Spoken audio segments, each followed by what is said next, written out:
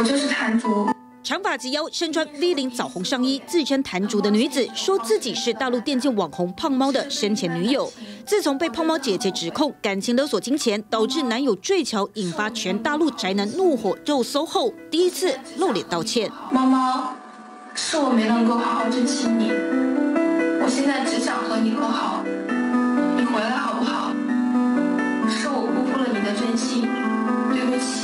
九十度弯腰道歉，没把公众怒火压下去，反而烧得更旺。很多人批评，怎么会穿超短热裤拍道歉影片？言辞表情十分敷衍，毫无感情，根本是假道歉，真蹭流量，利用胖猫的悲剧吃人血馒头。网友表示，穿成这样道歉的吗？趁机赚一把流量，转身做网红吗？有网友还说，这就是诈骗啊！大家不要相信。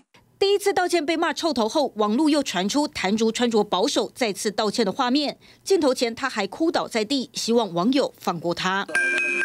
胖梦事件爆发，多家连锁餐饮送空包外卖到案发地悼念的丑闻后，现在又有网友说看到快递员拿走祭奠鲜花，质疑是要回收二次贩售。外卖小哥他包的花，大多数包装我感觉是一个商家出来的，然后这种很明显就是跟商家商量好。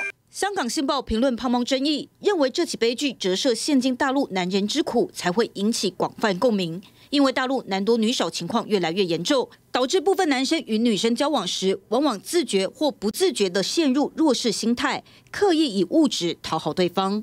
TVBS 新闻叶俊宏、李敏珍综合报道。想看最完整的新闻内容，记得下载 TVBS 新闻网 APP。